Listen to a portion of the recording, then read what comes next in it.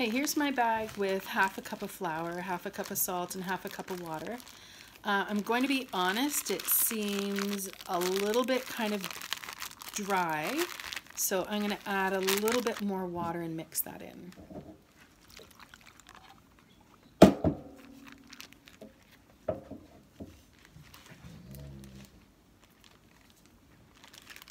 So just added a little more water to give it more of a paint consistency.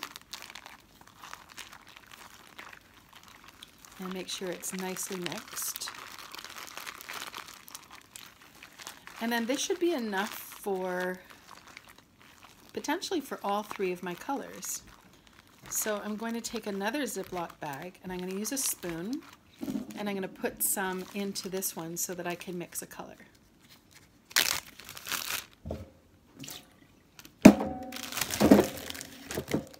little problem solving, I'm putting my empty bag in my measuring cup. So I'll open this.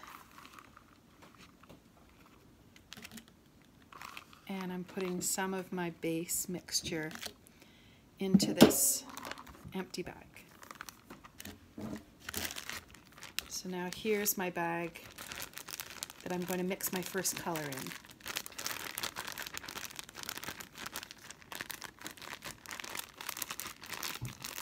And the first color that I'm going to try to make is with paprika, which is orange.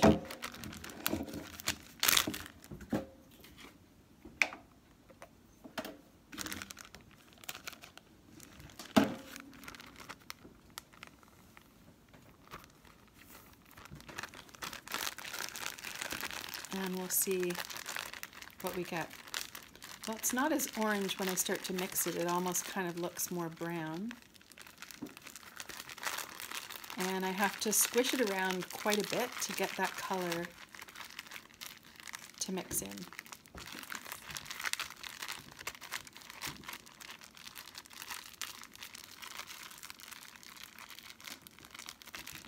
And I'm going to take a fork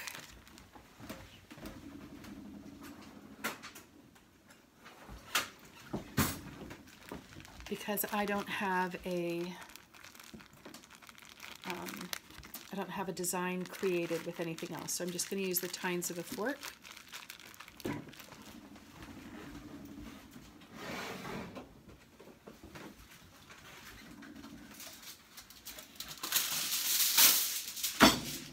And I have my foil to use as my palette. And I'm going to put some of my paprika paint onto the foil.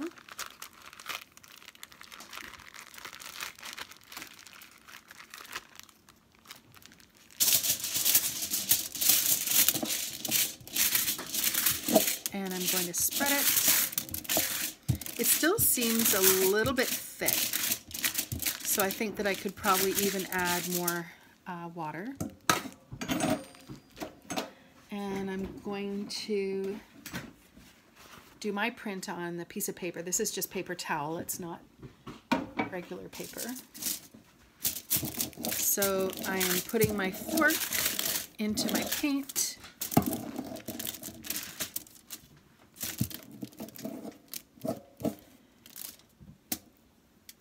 To make my design.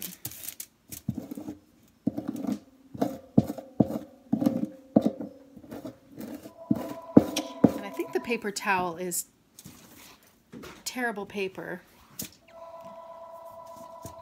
doesn't make a design the same way. Probably need a little bit more water in this as well.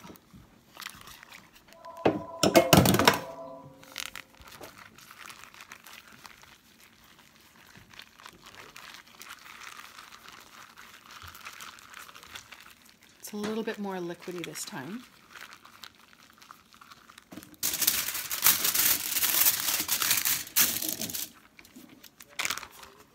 So it's a little bit of an experiment, right?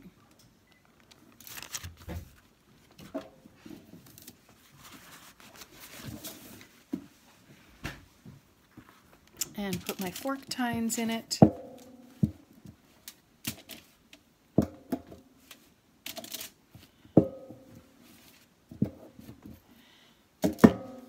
And my design kind of looks like bird feet.